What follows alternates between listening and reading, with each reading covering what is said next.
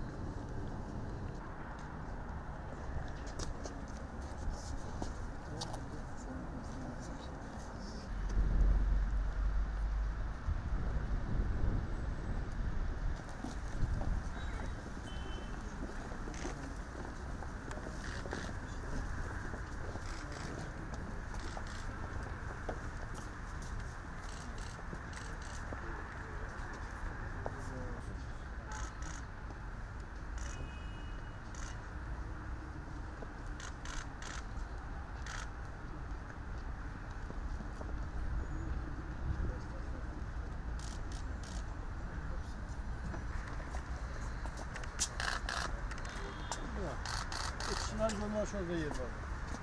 Ha şuralar.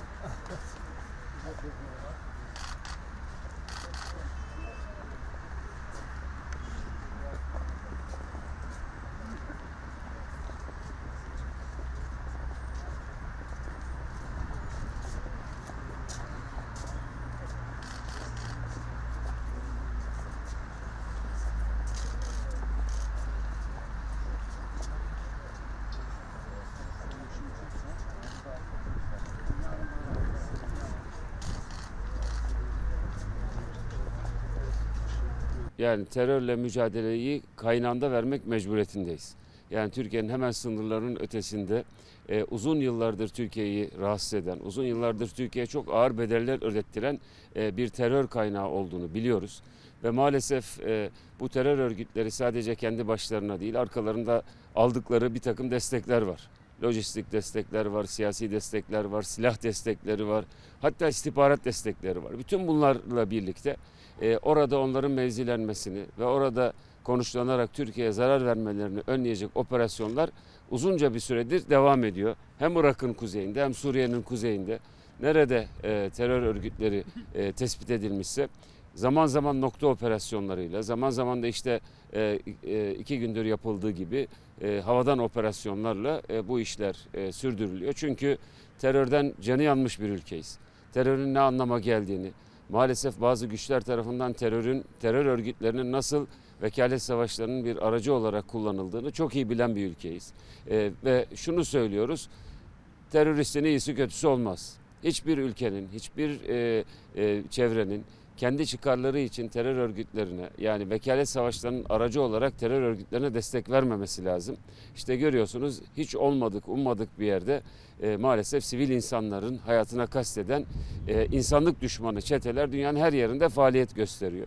Dolayısıyla burada biz hem teröre karşı kararlı duruşumuzu sergilemek mecburiyetindeyiz. E, bu bizim e, milli bekamız bakımından zorunlu olan bir şeydir.